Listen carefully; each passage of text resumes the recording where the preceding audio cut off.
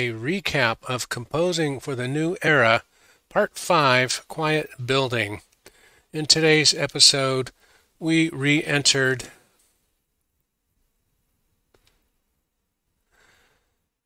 Oh my God, we re-entered in a lot of different ways, but the main thing is we've gotten focused on MIDI flows, musical interchange digital interface.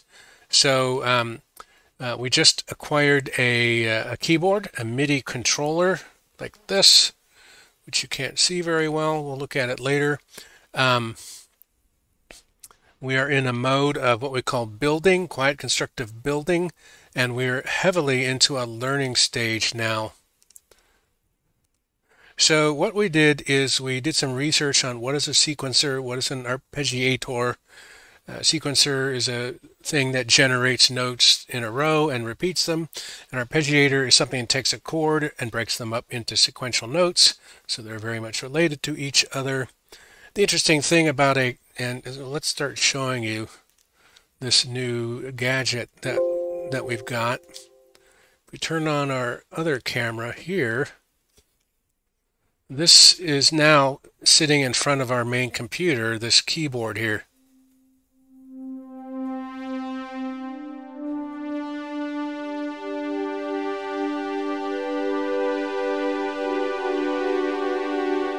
Which is kind of cool.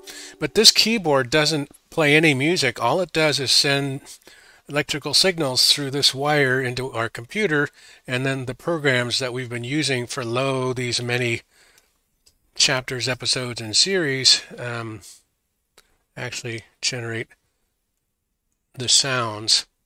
And that's what we mean by we're doing this experiment. So this experiment consisted of taking, exporting, here you see it, we've done this before, you export a MIDI file and then you send it down and then you import it here with an import MIDI and then but if you a MIDI by itself can't play anything you have to run it through a blah blah blah blah blah blah blah blah blah blah. So that was one way that we experimented with um, uh, the MIDI flow back and forth between MuseScore which is our annotation program and Reaper which is our digital audio workstation and then the second way that we began experimenting is um, just cut to the chase. Number two looks like this, and here um,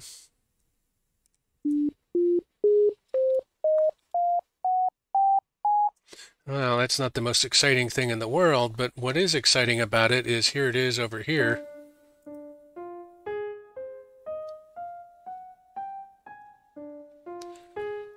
And notice it has soft and loud notes. And what happened is that we took and uh, used this MIDI controller and directly recorded notes onto here. Now let's see if we can demonstrate that. We're going to probably have to close this because um,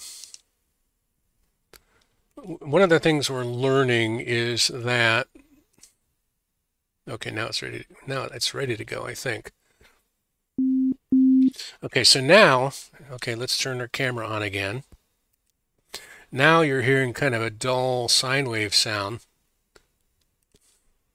So I go like this And I know that that's hard for you to see because this is so darn big. We, we have a lot of learning ahead of us here. But I think if we do that, then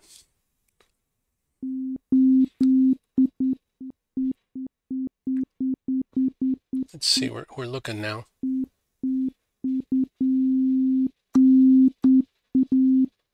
Yeah.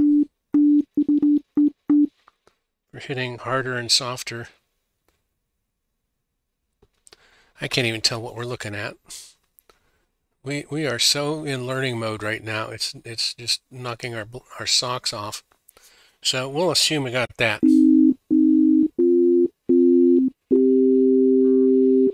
And the beauty of this is that if we care to, we can about, you see what we're saying here? You see what we're saying? You see what we're saying?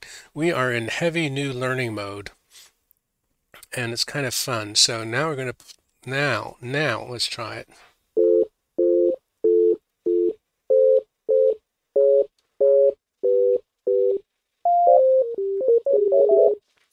Like that.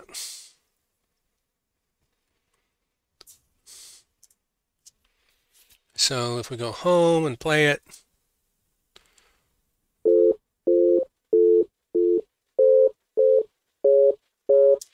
and then, okay, we're going to stop showing the camera because we're not even sure what you're seeing.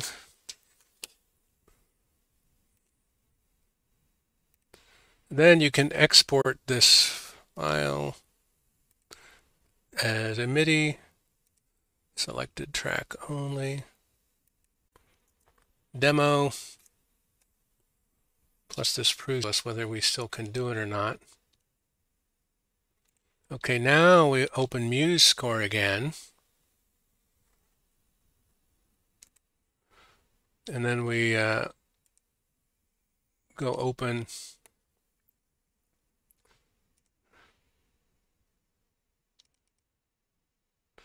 Which one was that?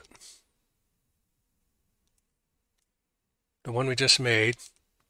And now you see you get this wacko looking thing.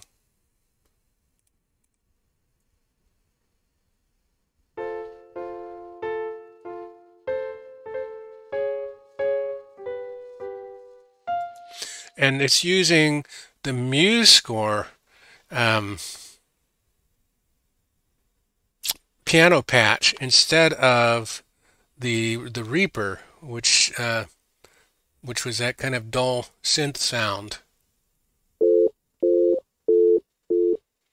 But it's the same data. It's the MIDI data. That's the point. And so in this ch uh, chapter, we were able to successfully uh, use our new MIDI keyboard to punch something into Reaper, then go out of Reaper into um, MuseScore and then and then get that kind of stuff. Luckily, we have cleaner looking stuff, which is what we were showing you a minute ago. We had um, keyboard to Reaper to Muse 2, which was this one. This is a lot cleaner.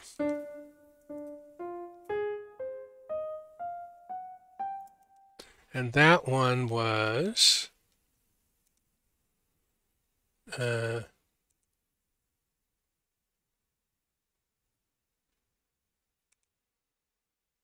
sounds like this.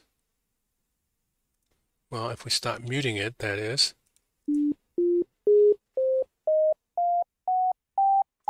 And so the trick we learned was that you have to you have to kind of clip the recorded MIDI file at the start and the end and, and give MuseScore a halfway decent chance of um, correctly importing it. See, this is the MIDI control fan. This is all new to us, all new. Now, the other cool thing about this MIDI controller thingy is you can see now MuseScore is taken over again. Now, when I when I press the keys, and here we go again. Here we go again. Um,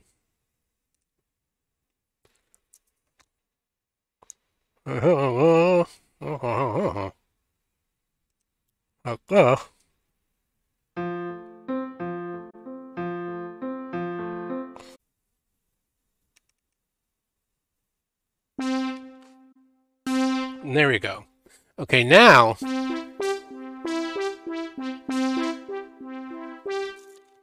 we did all that. Now you just saw us recording, well, playing live through MuseStep, but then we, if you press N, which is how you record notes, then you get stuff here. So this is what, okay, enough of, anyway, what we're going to do is play this wonderful improvisation on five notes that the point was we played them by hand onto the keyboard and let it run its little um, we played it as a chord.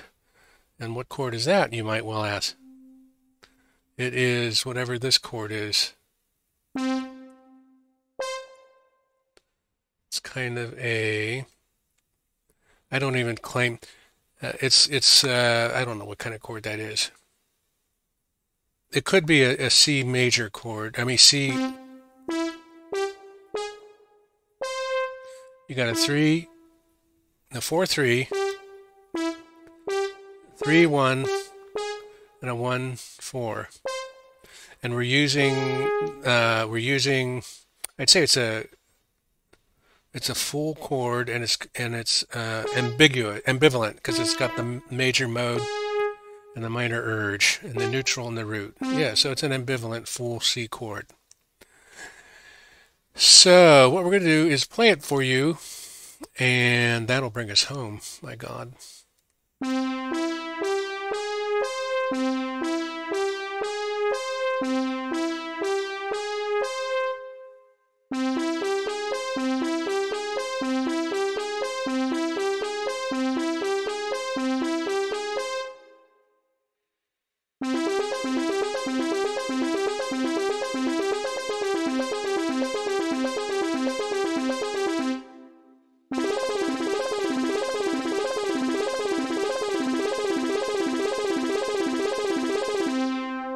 Ta-da!